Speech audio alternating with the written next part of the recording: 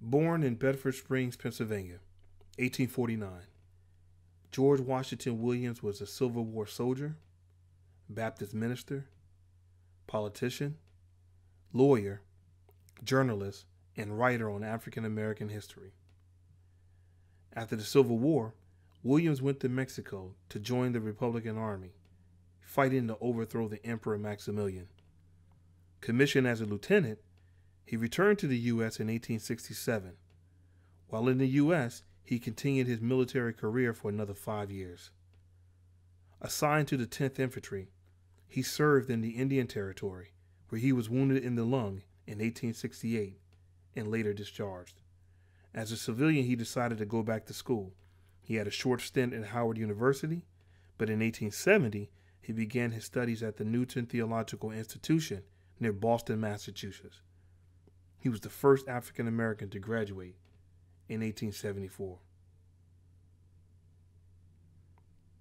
Ordained as a pastor, he had the support from Frederick Douglass and William Lloyd Garrison. And he also founded The Commoner, a weekly journal confused with the William Jennings Bryan Commoner who had come later. He was nominated by President Chester A. Arthur as Minister Resident and Consul General to Haiti and Santo Domingo in 1885, but he wasn't confirmed. He earned his honorary doctorate degree at Simmons College of Kentucky, an historical black college. But after all this accomplishments, his greatest contribution was soon to come.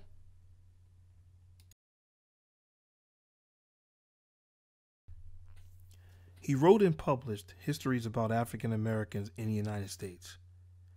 In 1882, he published The History of the Negro Race in America, 1619 to 1880. It was considered the first overall history of African Americans.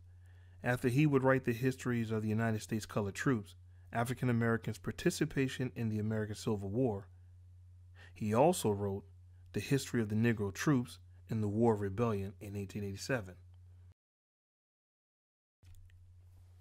In 1889, he turns his interest to Europe and Africa. That year, he travels to Europe writing articles for S.S. McClure's Associated Literary Press. He is then given permission to have an informal interview with King Leopold II of Belgium. He became interested in traveling in the Congo Free State, which Leopold owned. President Benjamin Harrison supports him in his travel to the Congos in 1890. Arriving there, Williams was completely appalled seeing Leopold's private militia enforcing rubber production by the Congolese. He's also discovered that the rumors were true. Harsh abuse against the workers and their families, including mutilation and a high rate of death. July 18th of that same year, while at Stanley Falls, Williams wrote an open letter to the Serene Majesty Leopold II, King of Belgium, and the sovereign of the independent state of Congo. In that letter, he condemned the brutal and inhumane treatment of the Congolese by the Europeans.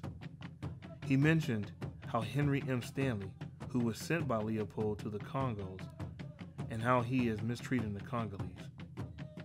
Williams appealed to the international community of the day to call and create an international commissions to investigate the charges herein preferred in the name of the humanity. Avoiding the attempt to be discredited by the king, he continued to speak out against the mistreatment of the Congolese.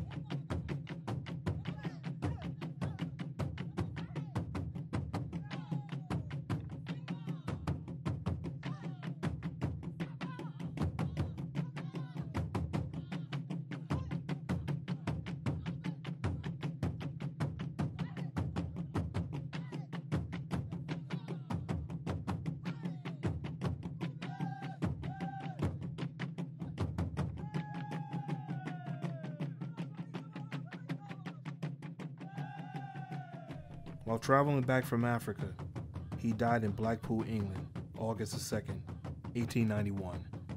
In 1975, a tombstone was placed at his grave by an American historian. The tombstone states, Afro American historian. George Washington Williams Memorial Room was named in his honor on the first floor of the Ohio State House.